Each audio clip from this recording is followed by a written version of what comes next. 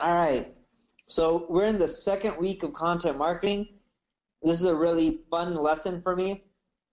Out of probably everything that we teach throughout the whole SEO Unlocked program, last week and this week is probably the funnest for me, and the reason being is I love content marketing. It just works, right? And as I mentioned last week, right, with the same quote, don't look back and ask why, look ahead and ask why not. It's just so effective. If you're not doing content marketing, you're messing up. There's just so much traffic potential out there, you have no choice but to do it. So as I mentioned, second week of content marketing. Next week's also another fun week. We get into uh, link building, and then from there, you know, the future weeks we'll get into optimization. So here's some successful businesses who are using content marketing.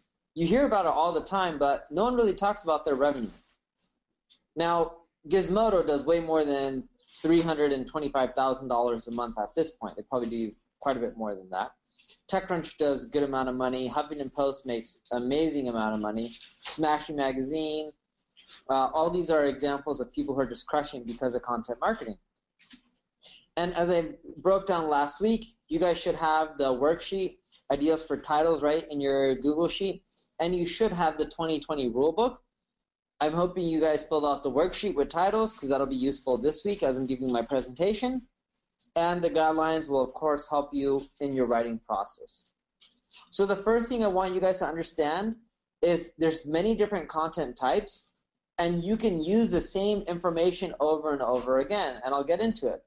But an example of this is, let's say I create a whole article on, you know, SEO and how to rank higher in Google. I can create a video with that same material. Or I can take that content and repurpose it on LinkedIn. Or I can take a portion of it and put it on Facebook, right? These are all examples of content types and reusing them. So one of the most common content types that you guys are familiar with is lists. That's scannable content that works at pretty much almost any different level. It doesn't matter if people are advanced, beginners, intermediates. Lists are pretty much effective. Eh, that's why you see them on magazine covers when you're walking out on a grocery store aisle, right? Everyone always shows it during the checkout, like, oh, seven ways to burn fat while eating Snickers bars, right? or seven ways to burn fat while Vignesh spends $500 of candy and throws it in your office. The other thing with lists is it just is so easy to follow along. You know, it's one, two, three, etc. Right? You want to make sure when you're doing lists that you're greater than five list items. Ideally, greater than 10 or even 20. The more thorough, the better off you are because so many people have already created lists on everything out there that are like four or five or ten steps. And that's why you want to have super detailed lists. If you don't, think about it. You've already read 10 ways to double your SEO traffic. You want 101 ways, right? You've probably already implemented all the other 10 ways or a portion of them. And that's why detailed lists tend to do better. Here's an example of a list that has done well on my website. If you look at some of my most popular content, 38 content marketing stats that every marketer needs to know has done extremely well, right? Why?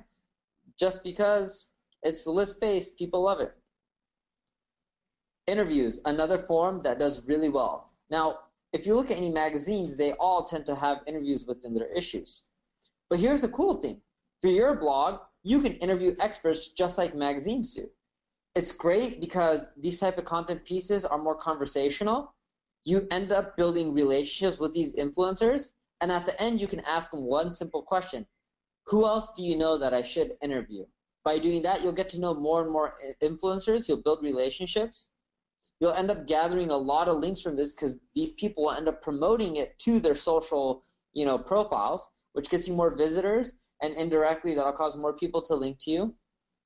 And of course, you can record the interviews and use audio files, video files, you can do text transcripts, you can do many different forms. One of my favorite content types that I don't know why, but people have slowed down on creating are infographics. At Kissmetrics, they helped us generate over 2.5 million visitors, 41,000 backlinks, over 3,000 unique referring domains, and that was all through 47 infographics. that's the power of them, right? It's just like it's amazing. The power of it is if we only spent 28 grand to create these infographics, and if we had to pay for all those links and visitors, it would have ended up costing us over $948,000. And keep in mind, as time goes on, that number keeps going up. So it's like 28 grand worth to spend for maybe in a year from now, $1.5 million worth of traffic, right? Such a huge ROI. Not just because you're getting traffic from the social web, you're getting all these links, which is then boosting your total Google traffic. And the cool part about infographics is you don't have to create tons and tons of text, right? It's all pretty much image based. So with Kissmetrics, if you type in our URL into Ahrefs, you'll see that some of our most popular posts, especially from a backlink standpoint, is infographics, right? How, how ah, sorry about that tongue twister there, at least on my end. How loading time affects your bottom line. That's an infographic. How do colors affect purchases? That's an infographic, right? All examples of post content that do extremely well. You can also create content just for social media. So like if you have a Facebook fan page, you create content, Facebook from their insights shows you what has the most engagement, reactions, comments, shares. Create more of that content. The stuff that doesn't do well, create less of that content. It's that simple, easy peasy. And if you're not sure what do, does well, go look at your competitor's social media page, go see what they're putting, and you'll find out really quickly what's doing well in your space and what's not. Videos. I've been doing a lot of uh, videos with my Neil Knowledge series. You guys can see it. I'm getting over 100,000 views a month. It's kind of crazy on the numbers we're getting. Um, I know a lot of people are like, Neil, with your audience, you should be getting like a half a million. Like, I hate to say it, in B2B, you're not going to go from zero to half a million views a month that quickly, especially on YouTube when the views count as 30 seconds or more, right? It takes time to build it up. But it's growing each month. I just did a deal with Entrepreneur Magazine where they syndicate all of our videos, and we think our video views are going to go from 100 and something thousand a month. Uh, they think at minimum they'll drive another 300,000 views a month, so it'll start getting close to that half a million mark, which is kind of cool and they get a lot of shares. You can see this. You can go to like BuzzSumo and see what kind of video content's doing well in your space. And videos are a great other form of content because what I found is videos get different types of views, uh, different type of audience. Some people will want to watch videos. Some people want to read the text. Some people want to listen to podcasts. You pretty much got to do it all. Webinars, as you see, I do webinars as well. People love them more webinars you create, the better off you are. So go out there, create a ton of them. They're educational. It's an amazing way to also generate leads from these webinars. They're probably one of the highest conversions from lead generation. Tools, I love tools. The most popular page on Neil Patel, other than the homepage or the blog page, is a tools page. It's the SEO analyzer page. I even integrated tools onto one of my pages that talks about starting a blog. Tools work really well. Ubersuggest, I own this as well. Another tool. It's actually even more popular than the SEO Analyzer page. I need to work on integrating onto the Neil Patel site. Um, but again, just shows that tools are really powerful. So here's the example, right? Put in the Neil Patel, the SEO Analyzer. It's there. It has the most traffic. You can see on the left side, it's number one. Then the what is SEO and some of the other pages, but from a Google standpoint, the tool generates the most visits. Here's the example for Moz, another software company who creates tools. Look at number two. It's their Open Site Explorer. That's the backlink tool. Look at number six, Followerwonk, which is their social media analytics tool, right? It's all tools. Number eight, the MozBar. This all helps. Checklists. I don't see a lot of people creating checklist content. I don't know why when I mean creating it, not just saying here's a checklist, but having like engaging content where they can check it off like as if they've done it um, and it's not that hard to create this kind of content. You can go find a developer on Upwork to do this for you for like 50 bucks. It's really cheap. It's engaging. People keep coming back, and it does well. Or you can start doing hybrid content like me, where a lot of my content now has text and videos from me, right? I'm doing a bit of mixture of everything. And I found that it's working quite well. You can also do challenges uh, or case studies, like I did my 100K challenge and in that challenge, some of you guys may follow, some of you may have not.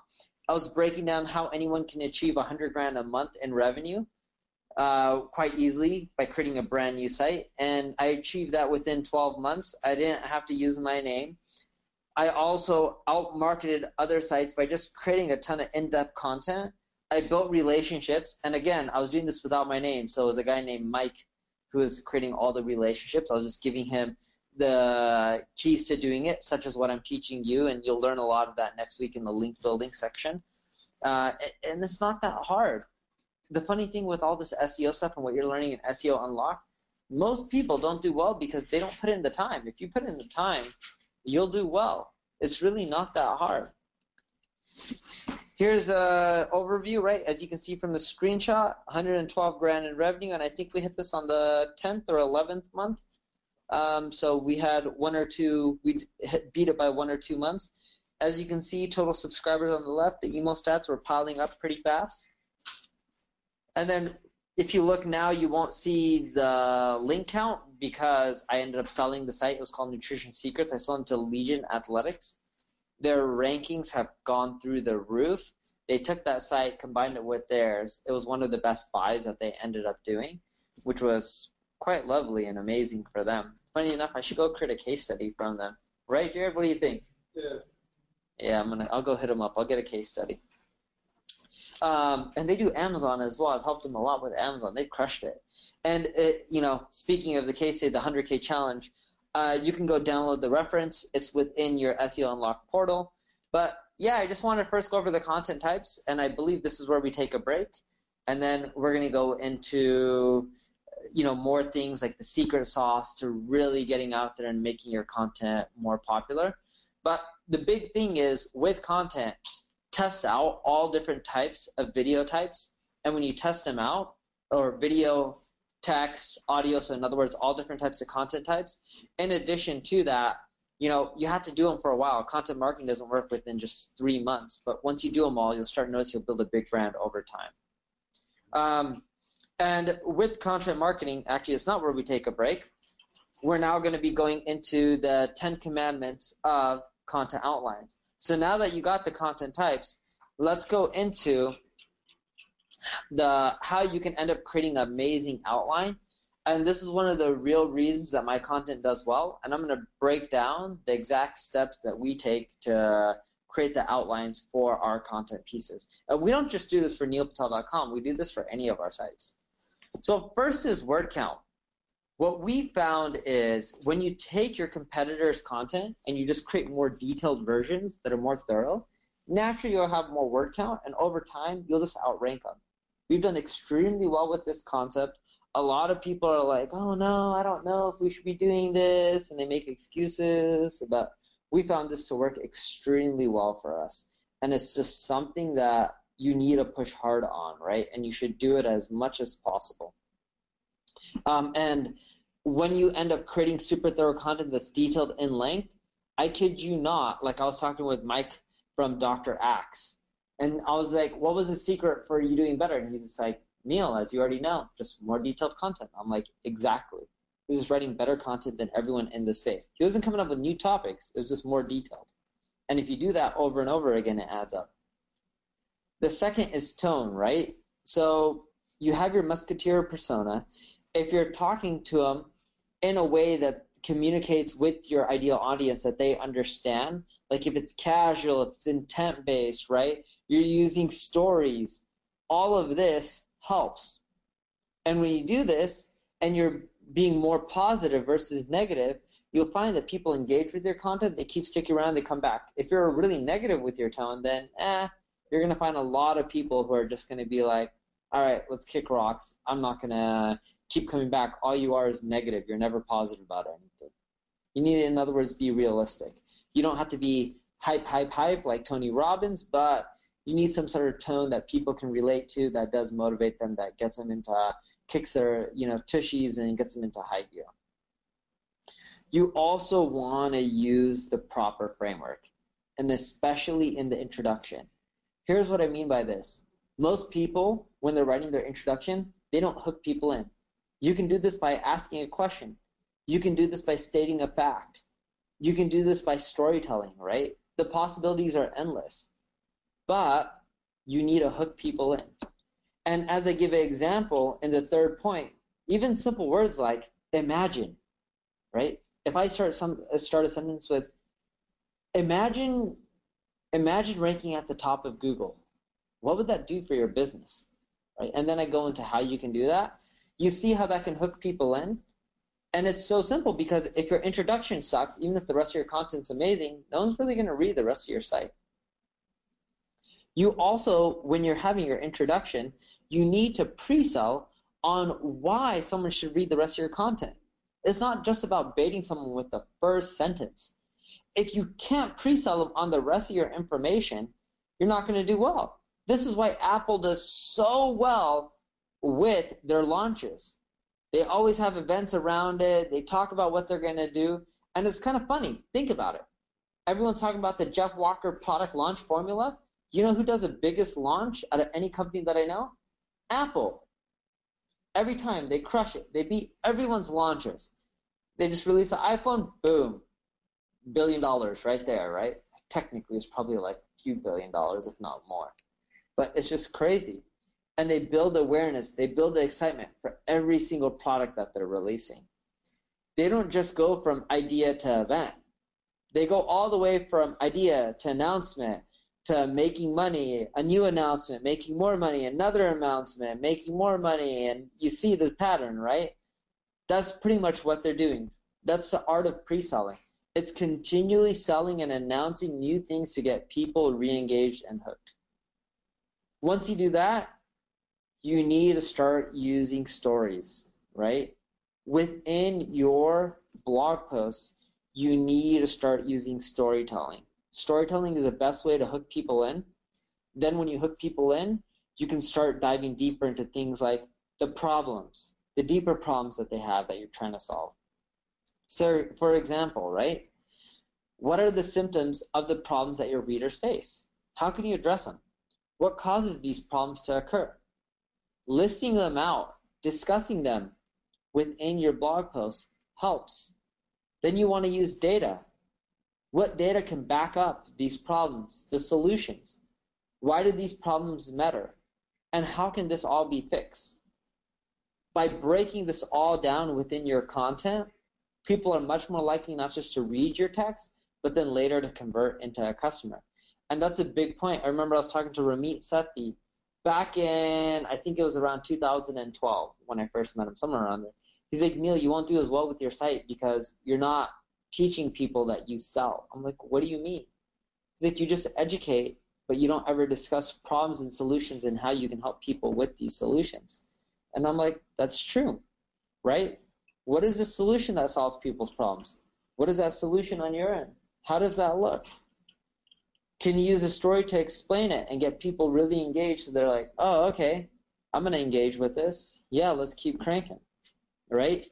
I want to figure out if I can work with you. I want to figure out if we can do more. It doesn't have to stop. And that's where you get into number six, which is your subtle musketeer intent. You want to hide your intent in plain sight.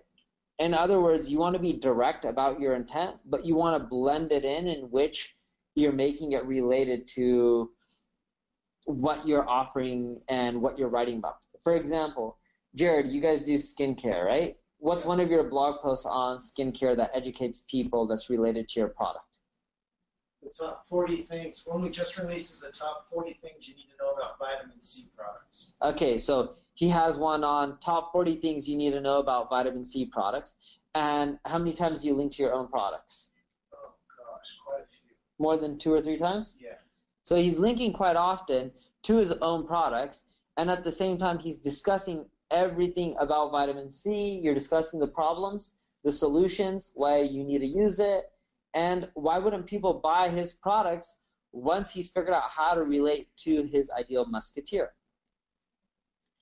Number seven, business wins. You want to share business facts, such as big wins that you have and ways that you can help other people as well. This is huge. This is why case studies convert so well. Testimonials are smaller examples of this. Um, but by doing all of that, you're going to be better off, right? It's all about case studies, testimonials, showcasing your big wins so people can relate and understand, hey, you can help them too. So internal links, right? this is a huge one that I see people forgetting. If you're going to write content, you don't internal link, your content's not going to rank well. Make sure your anchor texts are natural when you're internal linking. But by doing this, all your content will get ranked better and it'll all flow well together. You also want to personalize your content by adding your own voice, your own opinions, your own stories, things that can't be replicated by other people. It'll make your writing stand out. And this is why personalization is huge. It also causes people to relate to you and your brand, which will cause your conversions to go up. You also want to source your materials. If you're not backing up your claims, people are going to call you out on your bullshit. Make sure you source things. If you don't source things, you're just going to be an average Joe who's just writing content like everyone else and won't give a reason to follow.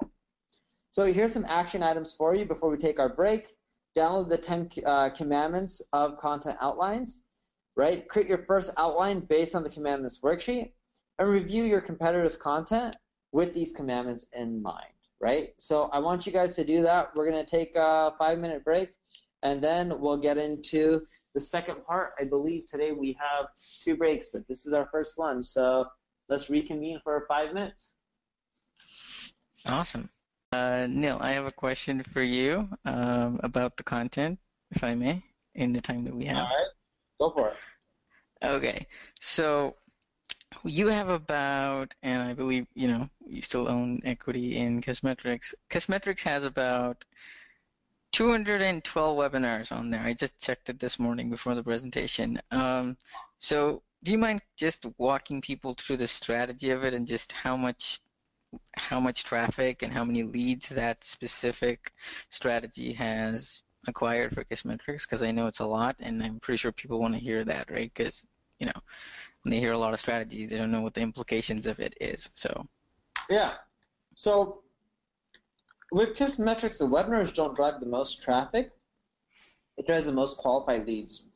Think of it this way: if someone sits through our webinar and they convert into a lead, they're much more likely to become a customer because you've already warmed them up. They're familiar with you and they know what you're doing right? It's like it's something that people take for granted, but it's not just about pure lead volume and numbers. It's about quality as well, and that's what the webinar gets you. It gets you high quality. Mhm. Mhm. That's cool. webinar right now drives at least ten to twenty percent of their total leads, but the quality of the leads are higher. So I would assume that maybe quality-wise, I'm taking a guess here, but I would say it's like thirty to forty percent of the qualified leads. Hence, there's so many webinars. Awesome, awesome. Uh, while you were talking about pre-selling, I actually looked this up.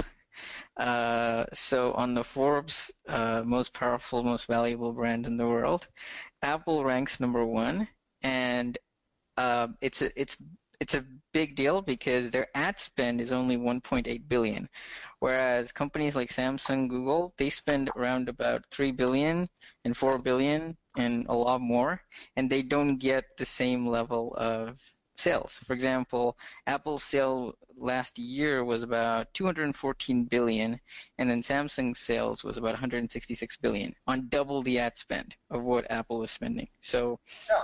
I think pre-selling works. Does. Look, Apple does really well from pre-selling. I don't see them getting away from that anytime soon. Yeah, that's pretty cool. Uh, funny you mentioned that because uh, uh, today one of our clients they did like yeah they they did a launch and they're gonna do a million bucks in sales their first ever million bucks. We worked on that launch for like two months. It was pretty epic. Yeah. Yeah, so pre-selling works really well. what else can we say, right? yeah. It works extremely well.